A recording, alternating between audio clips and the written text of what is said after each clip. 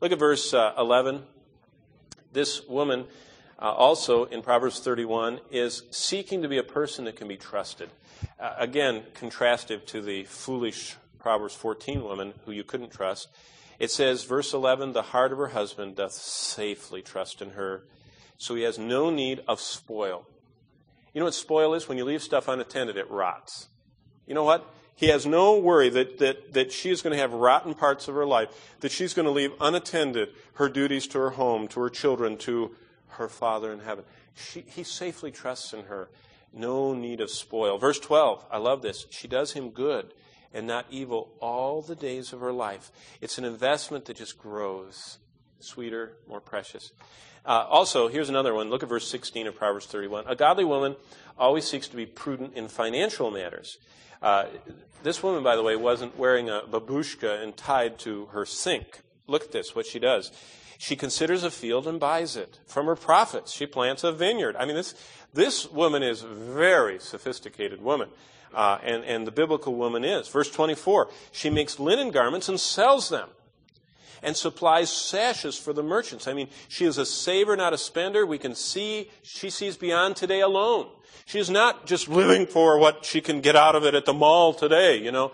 She's looking down the road and sees how she can be prudent in financial matters.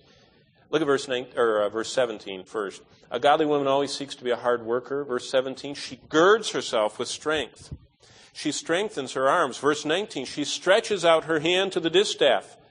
Uh, with her hand, she holds a spindle. You know what this means? It means when work's there, it doesn't retract her or repel her. She doesn't pull away from it. She goes toward it. And you know what happens if, if a godly woman goes toward work? Her children learn to work. She's a model. Um, boy, is that needed in our world today. Most most kids are. I'm not going to tell my, my joke I always tell. I always say that when I was in high school, I thought manual labor was the president of Mexico, but I'm not going to tell you that. Um, you know, uh, it's not good. But, but basically, what I'm saying is she's a hard worker. She, she stretches toward, not away from. She's not slothful or indolent. Look at verse 23. Here's another description. This godly woman always seeks to be a person who has a good reputation.